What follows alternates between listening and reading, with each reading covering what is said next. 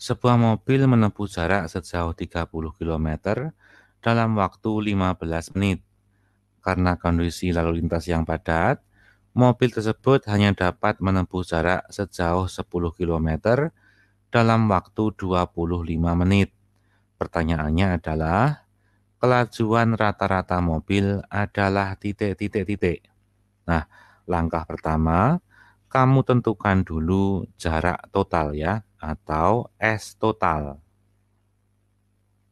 S totalnya sama dengan 30 km, kamu tambah dengan 10 km, maka nanti jarak totalnya sebesar 40 km.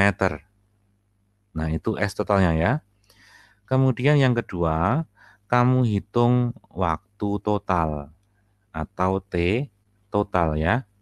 Nah, waktu totalnya adalah 15 menit. Kamu tambah dengan 25 menit. Dapatnya adalah 40 menit.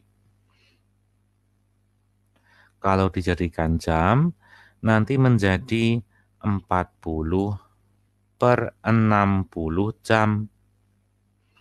Atau jika disederhanakan menjadi eh, berapa nih? 2 per 3 ya. Nah, 2 per 3 jam.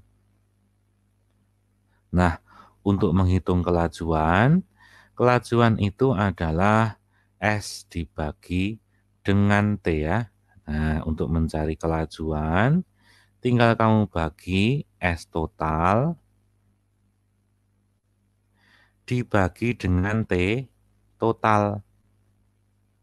Nah, kan gitu. S totalnya tadi berapa? 40.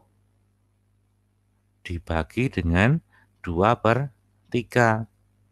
Maka nanti jawabannya adalah 40 dibagi 2 itu 20 dikalikan 3 berarti 60.